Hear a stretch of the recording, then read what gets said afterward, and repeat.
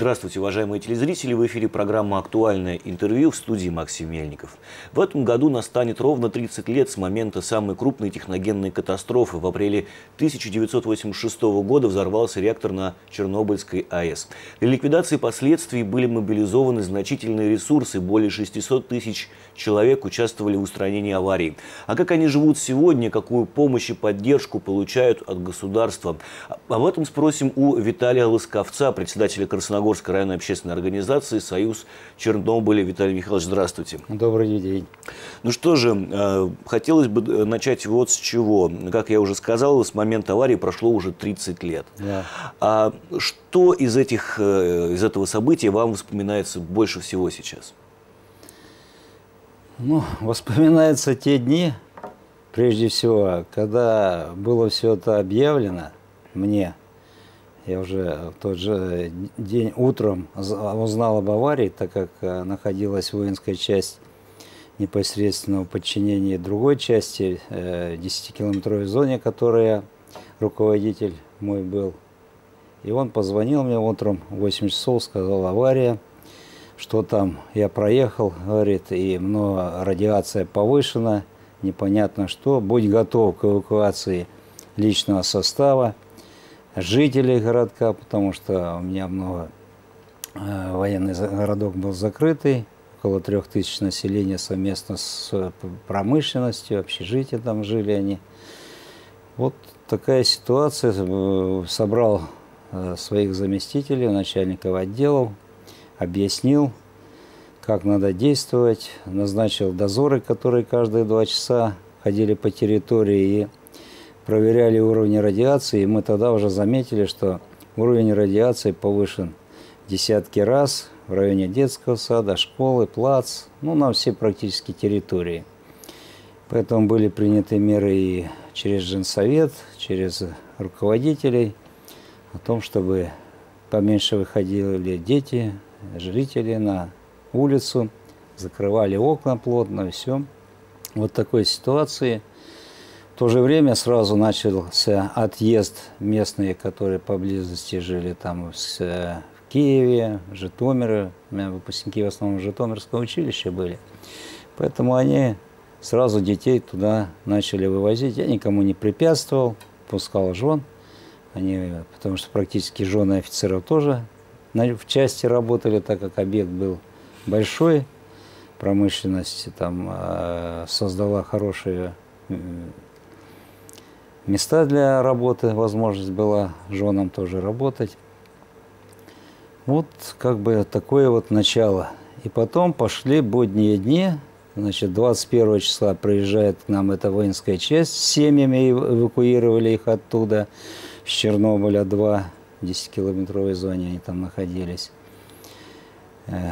21 э, э, мая они приехали. И потом была поставлена задача личным составом моей воинской части, где я был командиром, значит, э, организовать охрану этой части своим личным составом и вывоз материальных средств. В основном там специальная техника была, которую э, пришлось специальные проводить дезактивацию, специальные э, делать оборудование специальное было для того, чтобы ее туда для эвакуации и перевозки вложить и отправить в другие места. Порядка 350 эшелонов было отправлено угу. Министерством обороны. Так, до августа 1988 года личный состав части занимался, вот, пока не приехали, все надеялись, что там все успокоится, уйдет радиация, но она не уйдет еще на долгие годы, и жизнь там невозможная. Поэтому вот в 1988 году, в августе месяце закрыли этот объект, передали, просто ушли мы оттуда и все. Понятно. Ну что же, это вот э, воспоминания... Это история такая вот, 30, короткая. 30-летней давности. Но э, хотелось бы вернуться в нашу э, реальность и поговорить немножко об организации «Союз Чернобыль», а как, как, давно она э, была создана, какую функцию выполняет, да, сколько сегодня членов этой общественной организации. Значит, ну, когда э, где-то в начале 80 восьмых-девятых годов начались э, ну, заболевания, почувствовали те, кто принимал участие в ликвидации, инвалидности пошли, и поняли, что государство к нам никакого, значит, внимания не обращает. Мы вынуждены были, значит, по всей, по всему Советскому Союзу стихийно практически начали собираться э, те, кто там был, и создавались организации. И так создалась в том числе и наша Красноурская организация. В 1989 году мы уже официально существовали. Ходченко Владимир Михайлович был первым председателем Снохабинского гарнизона. И по сей день мы существуем. Естественно, старались охватить как можно больше наших жителей, чтобы те, кто принимали участие. У нас, я могу напомнить, значит, два гарнизона военных, Нахабинский и Красноорский, принимали офицеры в основном – участие в этих э, в ликвидации этой катастрофы.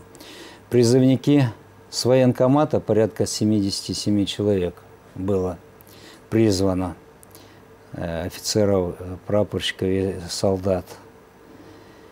И призваны или откомандированы гражданский персонал с министерств различных, много медиков наших, и там участвовало – и даже не бывая в Чернобыле, но получили удостоверение. Некоторые, несколько человек э, медработников шестой больницы города Москвы, куда привезли тот же день первых облученных ребят, пожарных, и которым они там первые дни оказывали помощь, но, к сожалению, 28 человек у них на руках практически ушли из жизни. Угу. Вот у нас есть медсестра Васильева Евдокия Артемина. Она, как говорит, каждого на руках держала, обмывала. И потом вот 26 завтра поедем, в 12 часов выезд, кто желает к администрации Ленина 4 подойти. Мы будем, выедем на Митинское кладбище, и она каждый раз ездит, и она их практически по именам всех знает и помнит угу. до сих пор. Ну и все-таки про организацию, да. И какую, вот э, создалась, помощь, соз, да. создали организацию. Вот первое это было уточнение списков. Через э, социальная защита тогда только начинала действовать. Потом уже пенсионный фонд, через который мы получаем те льготы, которые нам дали. Ну, закон, в принципе, нормальный. Вначале вышел в 2005 году который ну, позволил э, нам как бы почувствовать то, нет, до 2005 года, да, почувствовать какие-то, э, ну, внимание к нам. Э, ну, после 2005 года в законе практически все льготы отобрали, выдали нам ежемесячно по 1000 рублей, по 1000 рублей с пролонгацией – то, кто в 86 году был, в 87 то в 88 и дальше, тем э, по 800 рублей. И на этом практически все. Да, и еще, э, я подчеркну, один раз в год, значит, 86 год, 87 год участники получают на оздоровление 300 рублей, один раз в год нам присылают. И 200 рублей 88 год. Вот представьте, что это за оздоровление. Медицинская помощь, поставленная мы на общую медицинскую страховку, хотя должна быть какая-то специализированная нам медицинская помощь, потому что радиация, она по-своему действует на организме, на крови и на ткани, и на кости. То есть тут совершенно по-другому. Сейчас, ну, если раньше чуть-чуть хоть как-то там а, обращали на это внимание, сейчас практически в общей очереди все. Угу.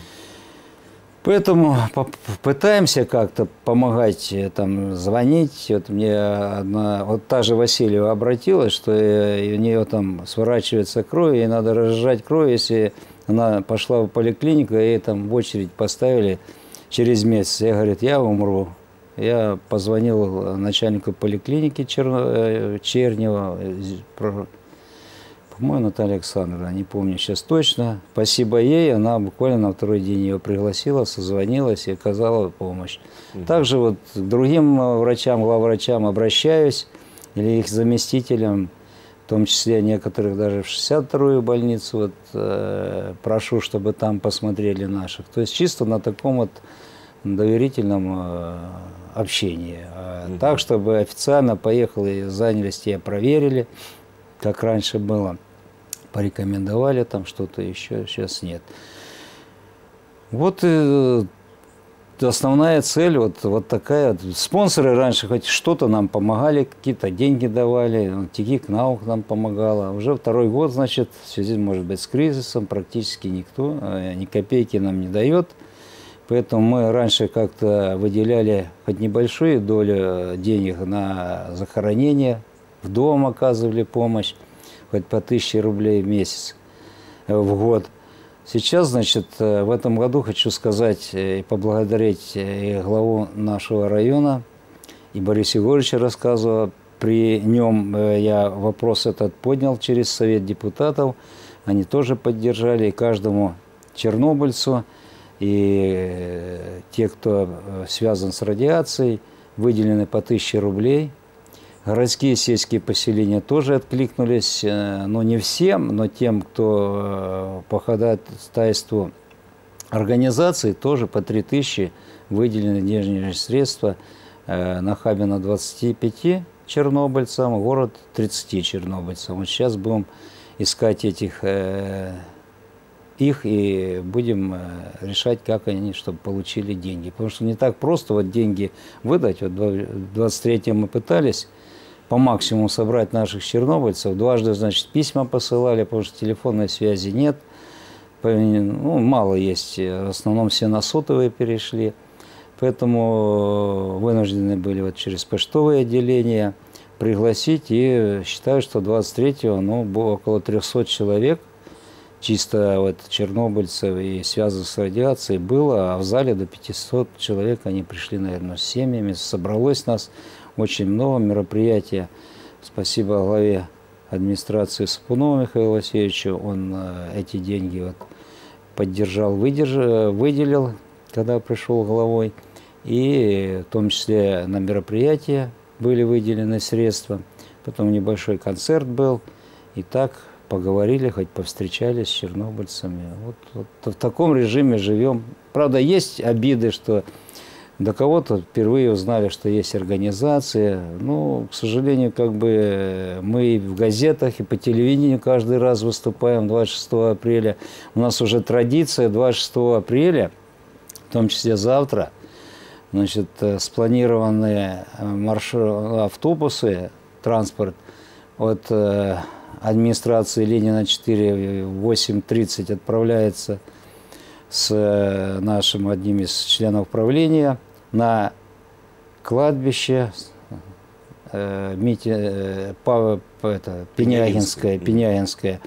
Поэтому в дом мы приглашаем города в полдевятого подойти, кто захоронен на Пенягинское кладбище, и, и с ними вместе съездят Потом он заедет, заберет вдов в военном городке Павшино где-то около 9 часов и съездит на Пенягинское кладбище. В Нахабино там отработано, э, тоже они встречаются все в Нахабинской администрации, ездят по Нахабинскому кладбищу. И к 11 часам приезжает э, к Знаменской церкви, где проходит панихида, и в 12 часов Автобус заказан на 55 человек, поэтому приходите, желающие. Поедем в 12 часов э, на Митинское кладбище, на всероссийский митинг. И эта традиция, она каждый год у нас, поэтому я, кто нас слышит, значит, не забывайте, 26 в 11 часов мы всегда встречаемся э, у церкви и потом все участвуем в всех мероприятиях. Виталий Михайлович, спасибо большое э, за то, что сегодня нашли время пришли к нам в студию. Хочу пожелать вам удачи, успехов. Э, э, также напомнить нашим телезрителям, что сегодня в гостях у нас был Виталий Михайлович Лысковец, председатель Красногорской общественной организации «Союз Чернобыль». Для вас в студии работал Максим Мельников. До свидания и до новых встреч.